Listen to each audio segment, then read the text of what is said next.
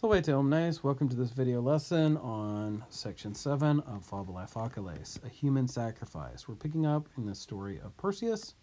Tum rex diem certam dixit, then the king said a certain day, et omnia paravit, and he prepared everything, all the things. Dixit and paravit, notice the X and the V marking those as perfect tense stems, so those are perfect actives ubi ea dies venit, when that day came, and venit, we know it's perfect tense because of the long e. When it with the short e is comes, present tense. So when that day came, Andromeda ad litus deducta est, Andromeda, this is the beautiful Ethiopian princess here, was uh, led down, deducta est, two word perfect passive, course, this is from the base verb duco, ducere, to lead or to guide or bring, and then the day prefix indicating down. She was brought down ad litus to the shore. Litus, like tempus and corpus, is a third neuter, so the us ending, it's accusative, same as the nominative. Et in conspectu omnium, and in the sight of everyone, or of all the people, ad rupim allegata est, she was bound or tied to a rock or to a crag. Rupes is kind of a little uh, cliff or craggy rock at the edge of the shore here. Um, ligo ligare, the base verb for tying, we get ligament and ligation, some other words uh, in English for that root or from that root. And the ad prefix has been added to that here and it's been assimilated. So ad ligata became alligata. So she was tied to the the cliff, to the, the rocky crag. Omnes fatum eius deplorabant. They all uh, deplored or wept uh, about, bemoaned, we might say, her fate, fatum eius. Nec lacrimas tenebant, nor did they hold back their tears.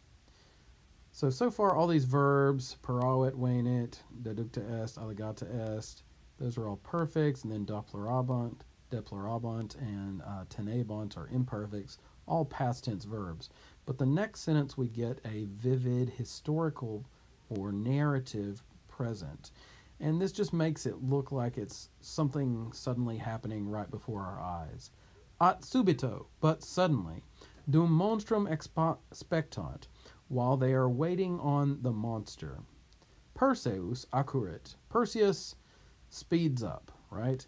I wouldn't say runs up here, even though usually curro does have to do with running, but I think he's probably flying with his winged sandals. So he speeds up. Et ubi lacrimas vidit, and when he saw their tears, causam doloris quaerit, he seeks, or perhaps asks for, searches for the cause of their sadness, doloris. Illi, they, Rem totam exponent, expound or perhaps explain the whole thing. Remember, this is from ex and pono. Pono is to put or place. So, literally, sort of like he sets out or places out the whole thing, the whole matter, or they place out the whole matter, rather. And so, again, explain is a good way to translate that idiomatically in English. So, they explain the whole matter. Et puellam demonstrant, and they show or point out the girl. And this, of course, is Andromeda, the beautiful princess, tied up on the beach. And I might note here Andromeda, um, so the Ethiopians, or Aethiopes in Greek and Latin, uh, were viewed with great respect in the ancient world, um, even the earliest sources. So there's a famous hero named Memnon who is uh, in the Trojan cycle. Um, he defeats many Greek heroes before he's finally killed by Achilles, who, of course, ends up killing pretty much everybody in the Trojan cycle. But Memnon is a great Ethiopian hero. He is the son of uh, Aurora, or uh, Eos is her Greek name, the goddess of the dawn. And let's see. Um, Herodotus talks about them being very tall, very strong, uh, their bows are so powerful that no other human beings can draw them. Um, very wise people, and so on. So they were well respected. And uh, viewed as having very dark black skin too. Now, Andromeda, strangely enough, in the Greek vase paintings, often is shown, um, you know, with very white-looking skin. Now, so this could be whitewashing, people forgetting the fact that she's supposed to be Ethiopian uh, or ignoring that willfully. Or it could be just explained as, as a matter of style. It's often been pointed out in Greek uh, vase paintings and a lot of other art of the Mediterranean that the men are typically depicted in the darker colors, which might be red or black sort of colors, and that the women um, are depicted in the light colors, like a whitish hue. And it doesn't matter what ethnicity um, the people are. So it may be that this depiction of Andromeda looking whitish to us is not actually trying to depict her as not Ethiopian. But in any case, she is Ethiopian here in all versions of this myth. All right, and going on, et ubi lacrimas vidit, and when he saw their tears, and this is Perseus, of course, Calcem doloris quaerit, he seeks the cause of their pain. Um, they expound the whole affair and they show the girl. Dum haec geruntur, while these things are being done. Fremitus terribilis, a terrible roar. And fremitus, this verbal noun refers to a kind of deep, throaty noise such as a bear or a lion or a really big monster might make. So roar or growl or something like that. A terrible roar, auditur, is heard. Simul, at the same time, monstrum horribili specie, a monster of horrible appearance, or perhaps with a horrible appearance. Horribili specie is ablative of description here. Procul conspicitur is sighted or is seen at a distance or from afar. Procul. Eius conspectus, its sight, and the its, the Eius here, refers to the sea monster, right? Its appearance, its sight. Timorem maximum omnibus injecit, uh, cast a very great fear, or the greatest fear, timorem maximum, on everyone.